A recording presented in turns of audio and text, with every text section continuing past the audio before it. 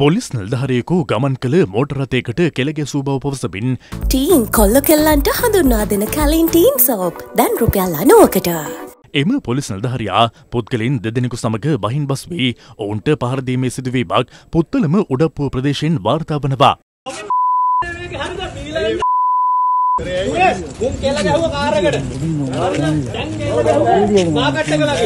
කරන්න එපා කියන්න හරිද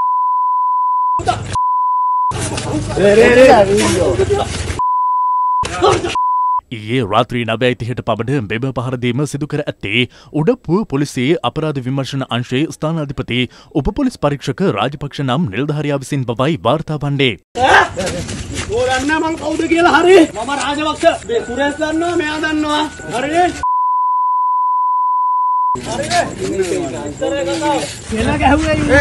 අපි ගිය ගල ගවන්නේ සර්. අපි ගල ගවන්නේ සර්. ඔය අපි නෙට ගියුවේ. මාත්තර ගැහුවේ. එහෙම යන්නේ නෑ.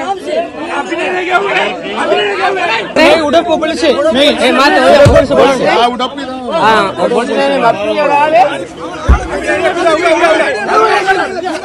අපි පොලිසිය පැමිණිලි එක දාමු මේක සතියක වුණා කියලා. මේක නිකන් කතා කරන්න වැඩක් නැහැ. ආ ඒගොල්ලෝ එතන ඉඳලා ගහනවා අපි හැමදාම ඔයාලගෙන ඉන්නවා.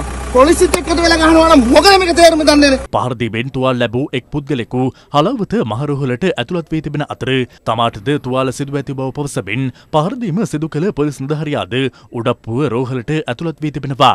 ඒ වෙලාවේ ඩොක්ටර්ස්ලා මොනවා කරේ ගුඩිගාපු එකනියයි පොලිසියයි එකට පටවන්න ලැස්ති කරා මම කිව්වා ඩොක්ටර් මේ සමහර වෙලාවට දෙන්නම එකට පටවුවොත් පොලිසිය අතුල ගායි මොන ලොකු ප්‍රශ්න එනවා. ලෙඩකාරයාව එකට පටවන්න ඊට පස්සේ පොලිසිය වෙනම පටවන්න කියලා කිව්වා. මේ දිගටම පොලිසියයි ගමයයි පොඩි පොඩි ප්‍රශ්න එනවා.